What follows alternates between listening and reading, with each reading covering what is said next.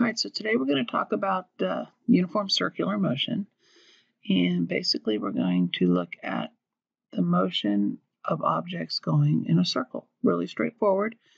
Just from personal experience throughout this uh, conversation, you might consider thinking about amusement park rides. Um, either, you know, for folks who really love them, think about that feeling that those rides give you that, that you just love and, you know, for people who hate them, just go with here's why I really don't like these rides.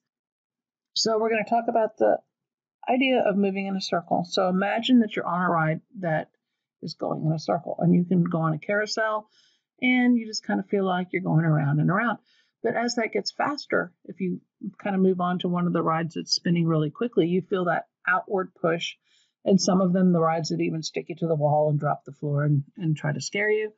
It's that feeling of being pushed out is what we think is going on. And I need you to kind of shift away from that because what's really happening is there's not really a force squashing you outward. It's just the back to one of Newton's laws that says, you know, the object stays in motion unless a force acts on it. You really just want to fly off. I mean, that's that's really it. Because of inertia, you want to keep moving in a straight line and not go in that circle. And so what's happening is the force of that outer wall is pushing you into the circle. Might be a little bit backwards from what you really think is going on, but think about being pushed or pulled into a circle. So think about the carousel, the nice peaceful moving, and we're going to look straight down on the carousel and talk about what it looks like as it goes in the circle and we're going to go clockwise around in a constant speed.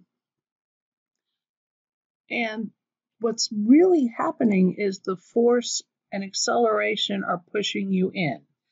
You do feel like you're moving out, but you're actually being pushed inward. And on, on the carousel, it's the fact that the horses are fixed.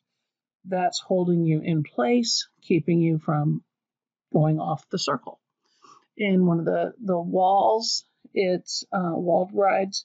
It's the wall holding you in. And if you think of something just as simple as spinning a ball on the end of a string, it's the string pulling the ball in, always inward. Some of the vocabulary for this, the pronunciation is a little bit important. So read carefully for the words and, you know, say them right. Uh, centripetal acceleration is acceleration towards the center of the circular path. So that, that is the acceleration of the inward motion. And then the force creating that acceleration is centripetal force. And that's the force that's acting on the object to go in a circular path. And it's always directed towards the center. There's a P in there, just remember that. Um, that could be the tension of a string holding a ball on a string. It could be gravity holding satellites in place. It, it could be the wall of that ride we've been talking about. Um, on the swing rides that go around and around, it's the chain of the swing keeping you from, from flying off. And then changing just a couple letters in here, we have centrifugal force, centrifugal force. And it is the fictitious force that gives you that outward feeling. So it's that feeling that I'm being squashed outward or thrown off. And it's all really about your frame of reference. Are you on the ride that's moving or are you not on the ride that's moving? So focusing on centripetal acceleration, that inward pull, um, it is got a, a symbol of A with a little subscript C, and it's the acceleration towards the center of the path. And remember, we can go we can be going around the circle in a constant speed, but we're constantly changing direction to go in a circle. That direction is always, always changing, pointing inward, being pulled inward by that centripetal force. So you're accelerating, and that's that is what it is, centripetal acceleration. Um, it is measured in meters per second squared, and we have an equation for it. There's two different ways to work it. So you want to look at what information you have given to you in the problem. Centripetal acceleration is either the square of the speed divided by radius, or if you have uh, things given to you with circular motion, you have angular speed squared times the radius. and the the symbols are shown right below. And just so you know that the closer you are to the center of the, the circle, the greater the angular acceleration is. And you can kind of think of it like um, you're making a tighter circle. So you're going to be bending the motion in more often. Along with all this, we've been talking about that feeling of being thrown out or that, that squashed feeling. And a lot a lot of what people love in an amusement park ride is that that feeling that's different. I'm being, I feel lighter, I feel heavier, I feel squashed in this direction. You know, that people love that because it's really, really different. Some people really hate it because it's really, really different. So just kind of think about what style person you are. What's happening is, is you are in an accelerated, what they call frame of reference. So you're the thing being accelerated, but you really don't know it.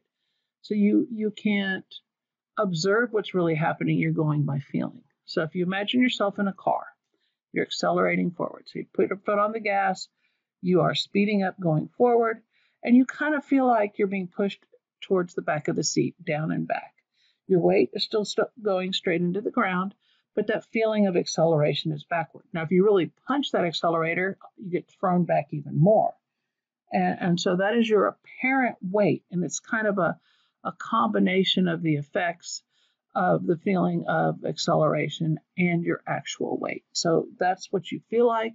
There's there's inertia in there, the idea that your your mass doesn't want to change direction. So there's that piece in there also. Go back to the amusement park idea and, and talk about one of the loop rides with the loop roller coaster or, or any of those things. And you so we're going to go into this loop we're going to go around in a counterclockwise fashion and come back out of the loop. And we'll talk a little bit about how it's going to feel as you go around the loop. And if you've been on one of these, hopefully this feels familiar. And if you haven't, perhaps you'll have that opportunity and I will have ruined amusement park rides for you. So you, you start the loop and you've got an upward acceleration and it feels like you're getting squashed down into the seat. So the, the more the more acceleration you have going up that loop, the more that squashed feeling feels. And as you get part of the way up the loop, now your weight is still pulling you downward, but now you have the track pushing you in. So that's what's giving you the centripetal force. The track's keeping you from flying off.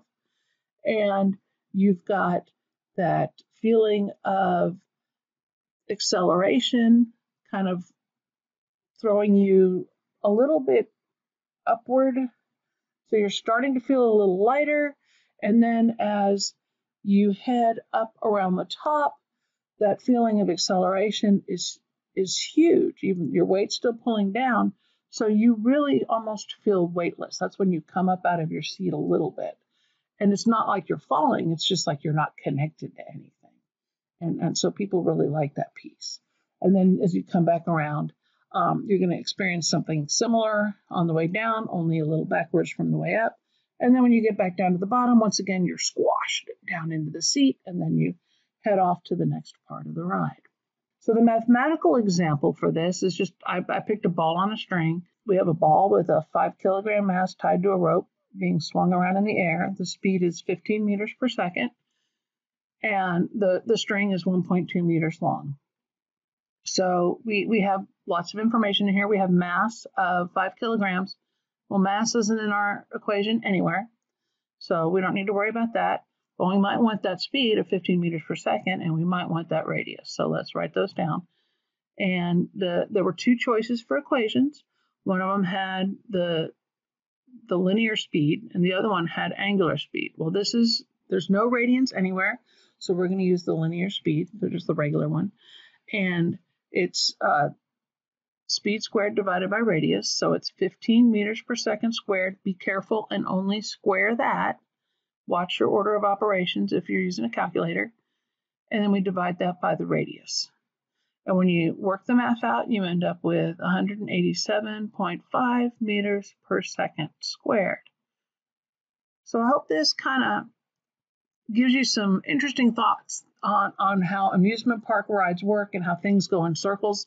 It is a little bit counterintuitive because that you don't always think of that inward force being the actual force and that feeling of being pushed outward is the fictitious force and it's not real It's not a force. Yes, you're feeling it. No, it's not a force. Alrighty. Bye bye.